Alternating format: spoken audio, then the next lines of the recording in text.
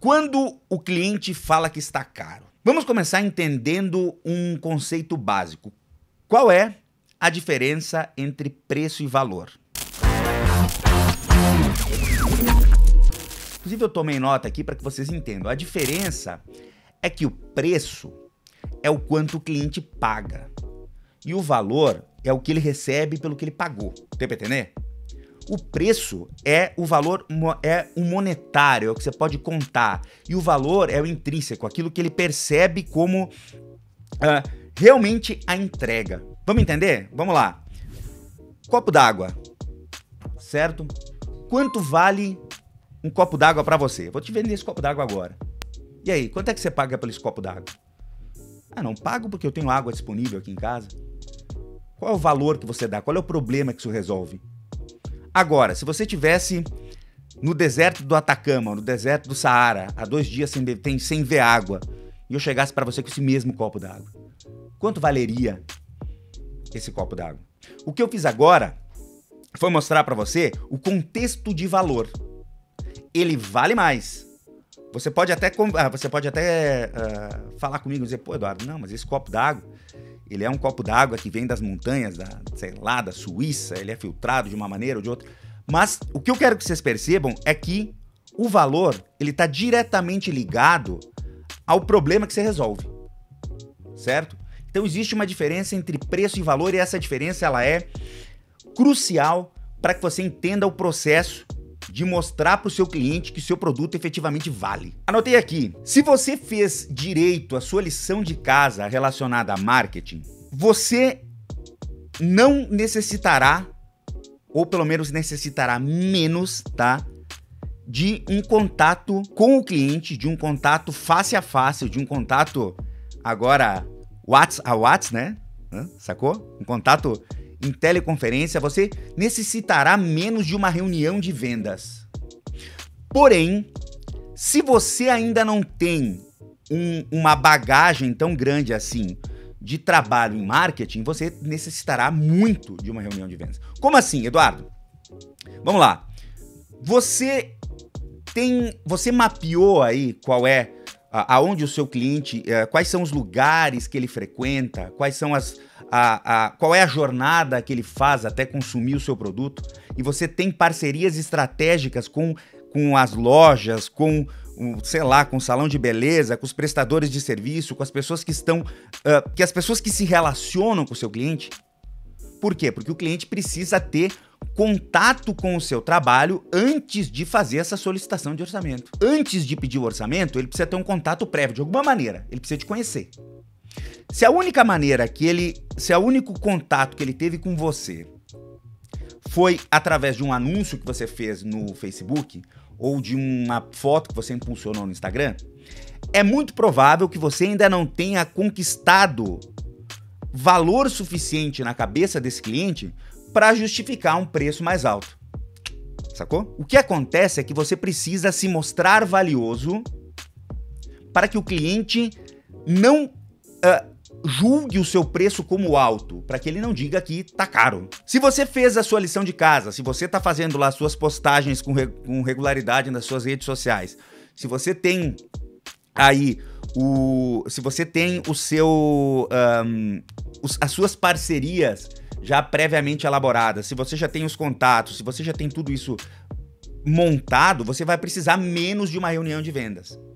Mas para que você consiga mostrar para o cliente o quanto vale o seu produto e ele não acredite que o preço é alto, você vai precisar de uma reunião de vendas. A reunião de vendas é onde você é, ganha um valor que é descompassado com o quanto você já investiu em marketing. Vou pegar um exemplo, eu gosto muito de falar isso. Você pega uma marca como Starbucks, tá? Então tem aqui um copo do Starbucks. Todos Todo mundo conhece, né? A maioria das pessoas conhece o Starbucks. E para que essa marca ficasse tão famosa a ponto de você confiar nela em todas as viagens que você faz, e quando você chega lá no aeroporto, você procura por um Starbucks porque você confia no padrão de qualidade dela, ela teve que investir milhares e milhares de reais, de dólares, no desenvolvimento e na, uh, e na, e na divulgação dessa marca. Você tem a oportunidade de fazer isso em 15, 20 minutos se você conseguir uma reunião de atendimento com seu cliente. Então, para que você não tenha essa objeção do preço, você precisa conversar com o cliente. Tem muita gente que me diz: não, mas eu mando os orçamentos e ninguém me retorna. Você está com a estratégia errada, então, para responder aos pedidos de orçamento. Porque o que você precisa fazer é trazer o cliente para uma conversa. A gente já sabe, já falei em outros programas, em outros episódios. Você procura aí no YouTube uh, fotologia preço, você pode procurar fotologia uh, pacotes, você vai entender o que eu estou falando. Você precisa de um valor isca, que é o que a gente fala, né? Valor de partida, para que o cliente tenha uma ideia de valor. E esse vai ser o valor que vai trazer o cliente para conversar com você. Eu não, não me agrada muito a ideia de fazer qualquer negócio sem uma reunião prévia de atendimento. Eu, eu gosto desse contato. Por quê? Porque eu tenho convicção que é nesse contato, nessa reunião prévia de atendimento, que você consegue mostrar para o cliente qual é o teu valor. Estão conseguindo sacar? Estou conectando uma coisa na outra? Preço com valor? E é o seguinte, ó. Você precisa, deixei até anotado aqui, ó. Entender nessa reunião de atendimento, primeiramente, qual o motivo pelo qual esse cliente te procurou. Por que ele te procurou? Qual o problema que ele procura resolver? Isso vai estar diretamente ligado com as dores que ele tem relacionadas ao seu produto. Então vamos lá, vamos supor que seja uma gestante. Por que, que ela te procurou? Ah, porque eu quero registrar esse momento na minha vida. Olha que bacana. Então você vai usar esse argumento de venda na hora de reforçar as características do seu produto. Então, para registrar esse momento lindo na sua vida que você quer, você é uma pessoa que valoriza os registros, você é alguém que dá valor para fotografia, você é alguém que dá valor para esse tipo de registro, você procura um profissional diferenciado. Eu tenho esse produto aqui. Primeiro ponto, entender o motivo pelo qual a pessoa te procurou. Entenda que ela pode estar tá te procurando porque ela pode te abrir essa informação, porque eu não vi as fotos da minha mãe quando ela era gestante, quando ela estava grávida de mim. E eu queria muito que o Pedrinho visse as nossas fotos as minhas e do meu esposo, daqui a 20 anos, daqui a 30 anos. Isso é o que eu chamo de argumento de fechamento. É o que você vai utilizar para fechar efetivamente a venda. Você não pode esquecer disso, cara. Esse é o ponto chave da, da tua reunião de vendas. Você mostrar para ela que você vai resolver o problema. Por mais que teu produto tenha essas características, que ele tenha uh, esses benefícios, que ele tenha essas vantagens, ele tem que resolver esse problema. Ele pode ter tudo isso, mas se ele não resolver o problema, ele não serve para nada. Então, quando você for mostrar o valor do seu produto, você vai ter que sempre conectar com aquela história, dizer, olha, e a gente e, e isso vai garantir que você tem um álbum lindo para mostrar pro Pedrinho daqui a 20 anos. Esse é o meu objetivo. Meu objetivo é um álbum maravilhoso para você mostrar pro Pedrinho daqui a 20 anos. Isso funciona para qualquer setor. Vou pegar um exemplo, pessoal dos imóveis. Ele pode estar procurando um imóvel com um, um quarto maior, porque eles vão ter um bebê, porque eles vão engravidar. Aí você, ah, essa é a necessidade de vocês? Então olha só, esse apartamento aqui, ele vai atender melhor essa necessidade de vocês. Por quê? Porque esse quarto aqui é mais amplo, fica próximo ao quarto do casal e vocês vão ouvir, como é o nome da pequena? Vai ser a Fernanda. Vocês vão ouvir a Fernanda se ela estiver chorando, alguma coisa nesse sentido. Esse quarto aqui já está programado, já está pensado para que a Fernanda possa ficar com vocês até ela ir para a faculdade. Nossa, que legal! Você está resolvendo o problema do cliente. Preocupe-se em resolver o problema. Mas você não vai saber como resolver o problema se você não pedir para o cliente qual é o problema que ele tem. Tem muito fotógrafo que não pede isso. Então, esse é o primeiro passo. Olha só, quais são os problemas? Qual o motivo pelo qual ele procurou seu trabalho? Qual é a dor que ele tem? E aí é onde você vai entrar com características, benefícios e vantagens do seu produto. É fundamental que você. Olha só o detalhe: eu não passei preço ainda. O que você passou é estimativa de valor, é ideia de preço. Para quê? Para forçar essa reunião de venda. Acompanha, acompanha a linha de raciocínio. Você precisa dessa reunião de vendas, porque você, na maioria dos casos, você ainda não conseguiu investir milhões como a, a Starbucks para ser uma unanimidade, para que as pessoas te procurem de maneira de maneira uh, de maneira direta, elas não elas, elas, elas, elas te procurem ativamente. Você tá entendendo? Elas venham ativamente até você. Você normalmente precisa ativar essas pessoas para conversar com você. E nesse momento da reunião, no momento da reunião de vendas, é onde você tem o poder de entender o motivo pelo qual ela te procurou e aí você vai apresentar benefícios, vantagens e características do seu produto. Você vai mostrar. Eu sou.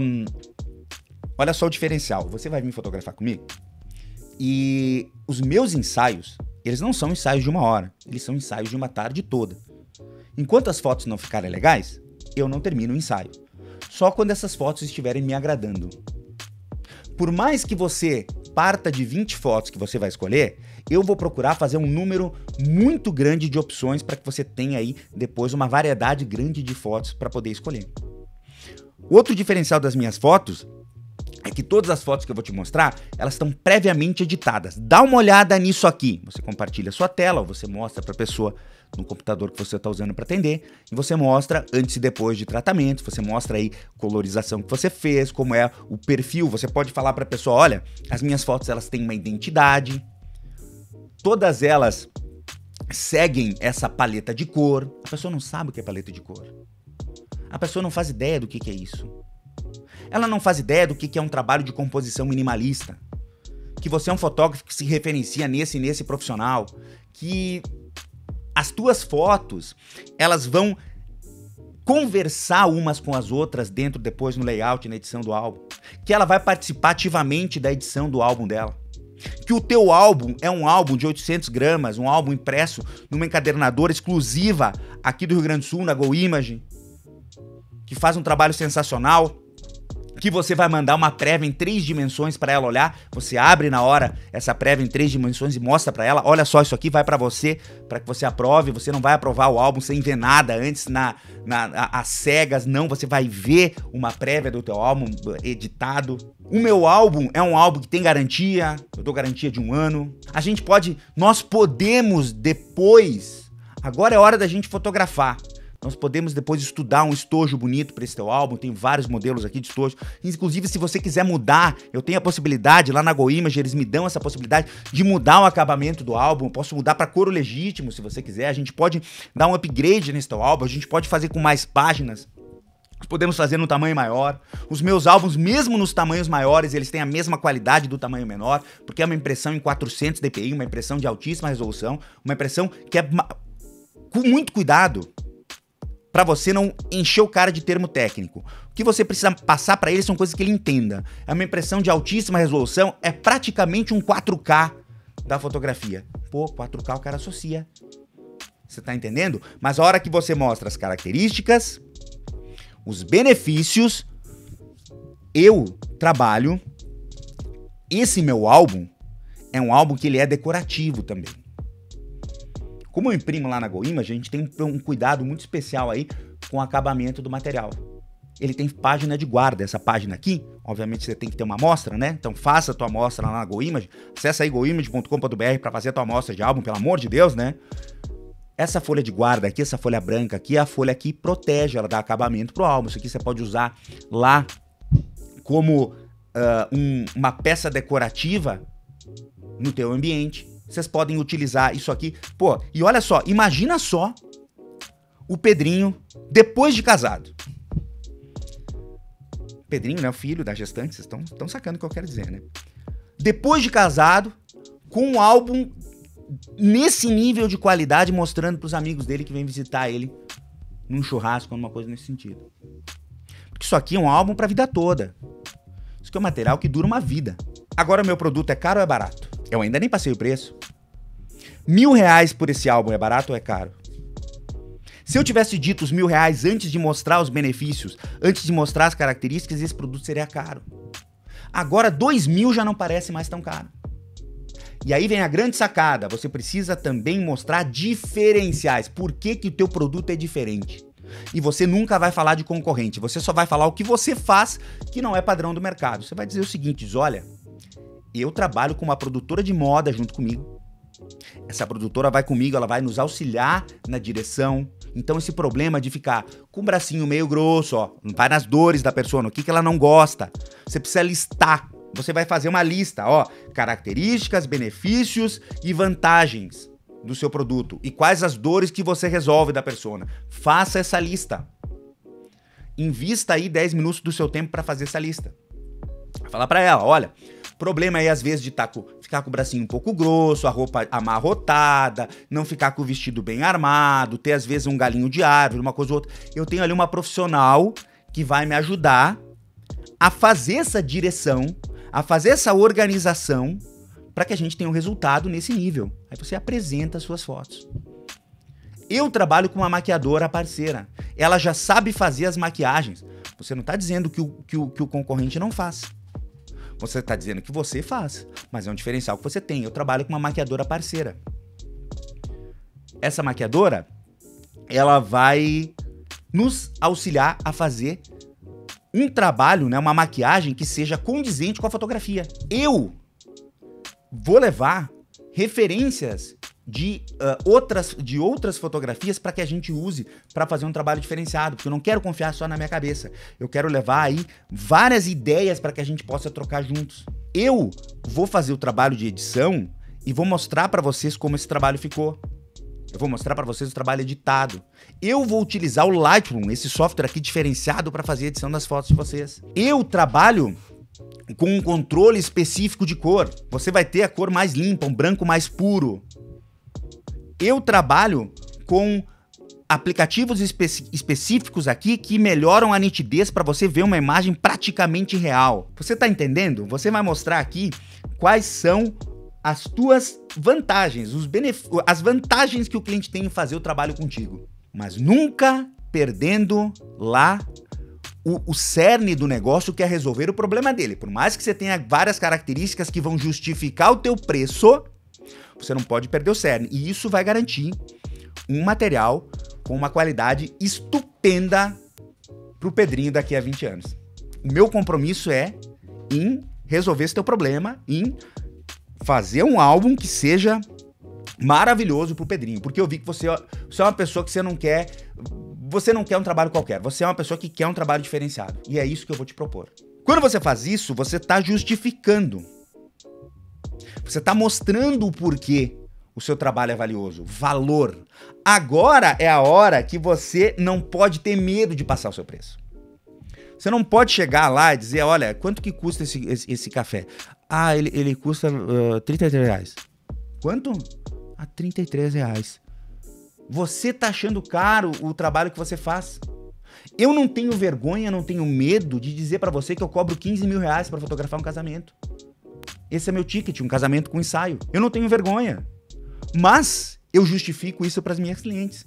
Os meus álbuns são todos em couro legítimo, todos livros de 100 páginas, com impressos com, uh, com laminação um, velvet, todos lá na GoImage, fornecedor específico. Meu modelo de álbum ninguém tem, isso é verdade. Ninguém tem os meus modelos de álbum, são 100% exclusivos. Eu entrego um móvel em madeira de lei para que você armazene esses álbuns, um móvel exclusivo também, um móvel que leva a minha assinatura, com layout pensado de acordo com as minhas necessidades.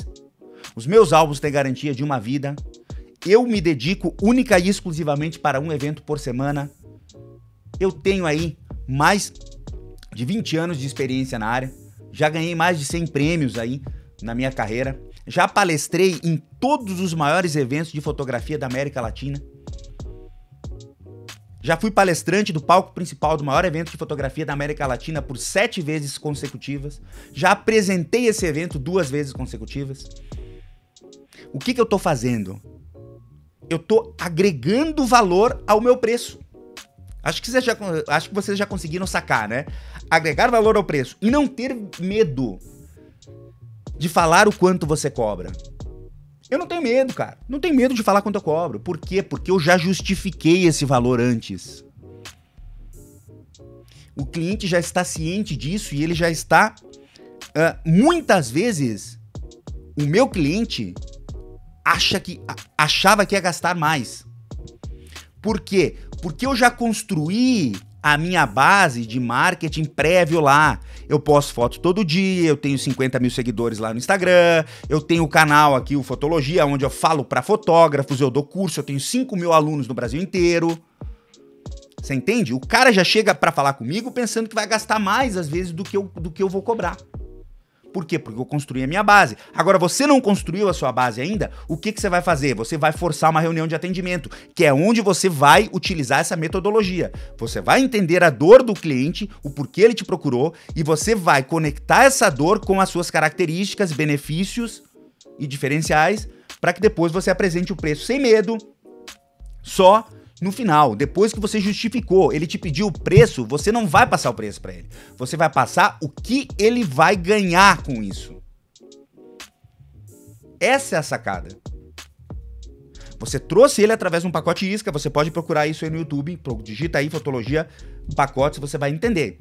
Mas a partir daí, você precisa justificar o seu preço, você precisa mostrar por que você deve valer aquilo. As pessoas não têm como adivinhar. As pessoas não têm como adivinhar que o seu processo de edição é um processo diferenciado. As pessoas não têm como uh, uh, adivinhar que você leva água nos ensaios, você leva alguém para ajudar a gestante a se vestir. As pessoas não têm como adivinhar essas coisas. E também um, funciona muito na hora que você for passar o preço, você mostrar a sua tabela de valores e daí você mostrar, olha, Serviço de maquiagem, que normalmente custaria uns 200 reais, te dou de presente. Está incluso. Isso é presente, isso é bônus. Ó, pra gente fechar aqui, maquiagem eu não te cobro. O layout que vai ser feito para um, vai ser feito para uma designer, desde que seja desde que sejam argumentos verdadeiros, entendeu? Utilize os argumentos, mostre seus diferenciais e quanto isso custaria. A designer que vai fazer o layout da nossa capa e folha de rosto, isso aqui é um trabalho de 250 reais. E como eu tenho uma parceria com ela, eu consigo.